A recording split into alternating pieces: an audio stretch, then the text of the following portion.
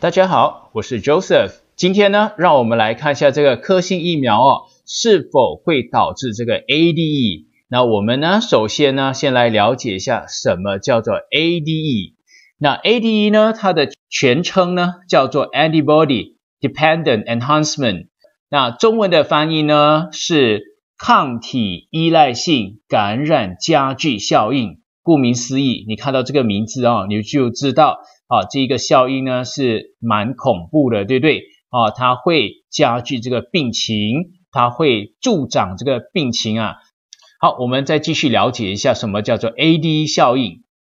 AD 效应也就是抗体依赖性感染加剧效应，是指人体在正常的情况下感染某一个病毒痊愈后，免疫系统呢会产生针对这个病毒的抗体。或者注射了某一个疫苗产生的单一的抗体，注意一下哦，单一的抗体就是某一种而已啊，阻止再次感染，从而实现免疫。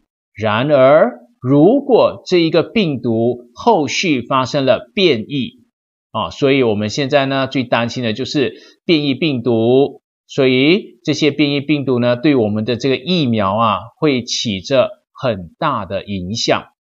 人体内原有的抗体对变异后的病毒将不会起作用，而这个时候，因为人体的免疫系统误以为病毒已经被阻抑，使得这时候的人体免疫系统对此病毒呢完全不防范，完全不设防，这会导致这个患者呢会比没有抗体的人症状反而更加的严重。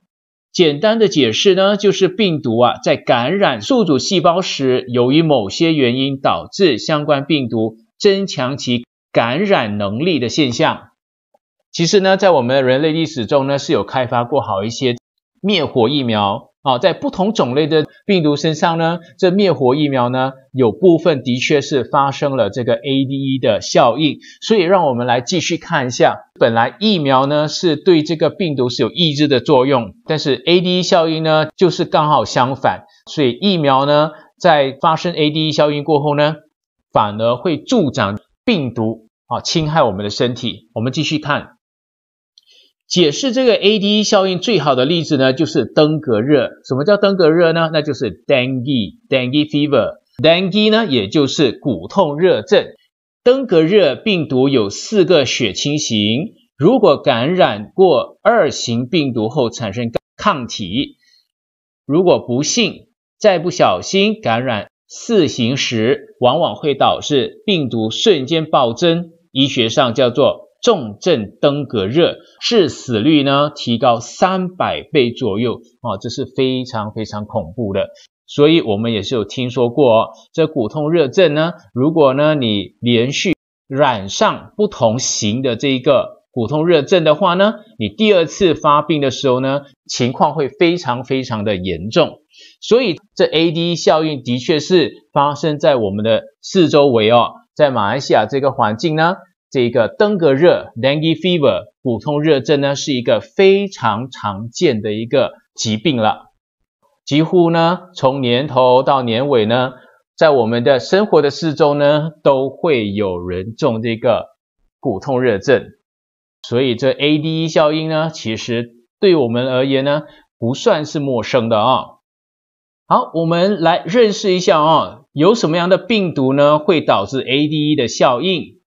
截至目前，人类已知有 AD 效应的相关病毒呢，有登革热，刚刚我们提到的啊，dengue fever，骨痛热症，西尼罗河病毒，人类免疫缺陷病毒，那就是 HIV，这也就是艾滋病病毒。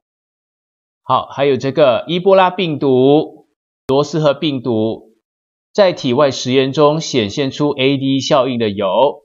严重急性呼吸道综合症冠状病毒，那也就是 SARS，这是在二零零二年尾至二零零三年发生的这个 SARS 啊，有些人应该会有印象吧？还有另外一个呢，就是中东呼吸综合征冠状病毒，也就是 MERS。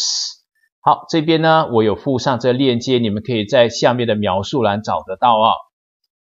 好，所以这两个呢，我要特别的强调，这一个只是体外实验，但过后呢，注射进这一个生物体啊，啊，也就是动物的体内过后呢，却反而没有发生这个 ADE 的效应。所以基本上来讲，SARS 跟 MERS 其实也就是这个冠状病毒的亲戚，它们之间呢非常类似的哦，但是呢，它们在这生物体呢。其实都不会产生这个 ADE 效应，同样的，这冠状病毒也不会产生 ADE 效应。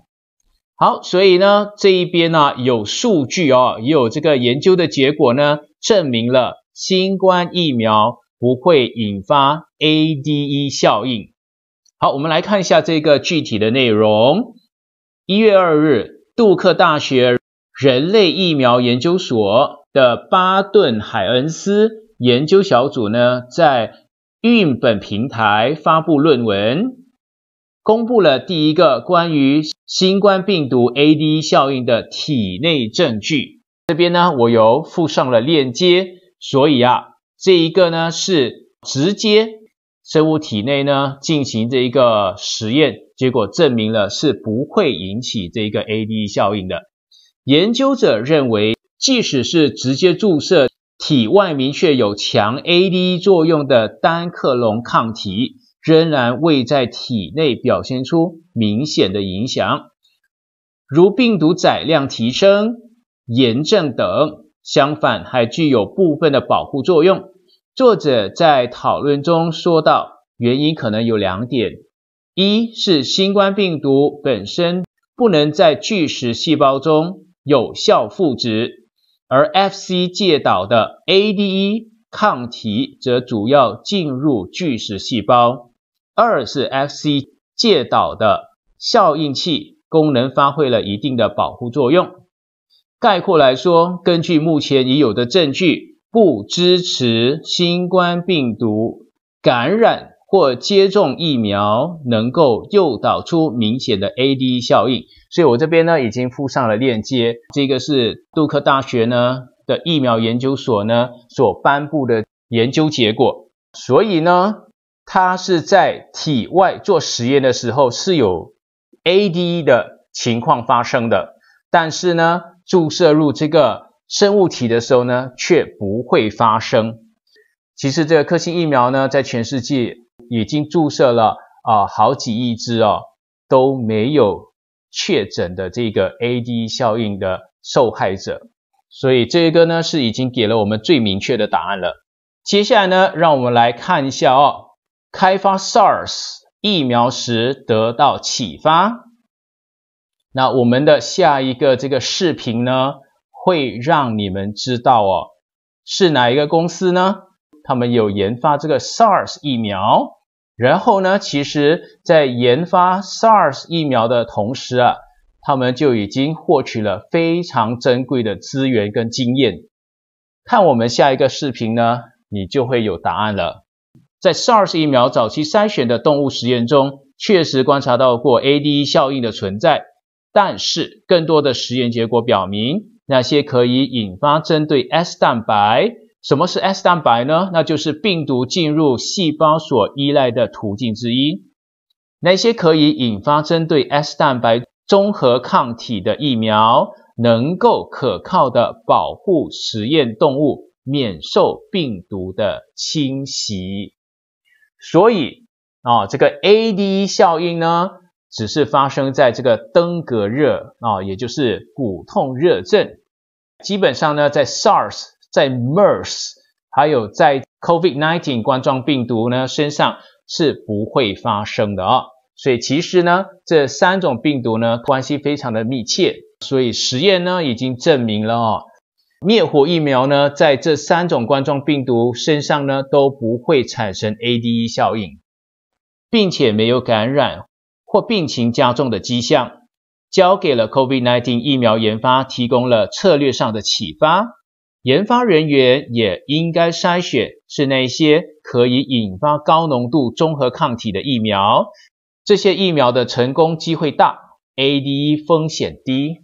所以，我们人类呢这一路走来啊，目前呢，我们所面对的冠状病毒呢，并不是我们第一个碰到的冠状病毒，所以呢，之前我们已经累积了非常非常多珍贵的经验，所以呢，这一轮啊的这一个疫苗的研发才能够那么的顺利跟那么的快。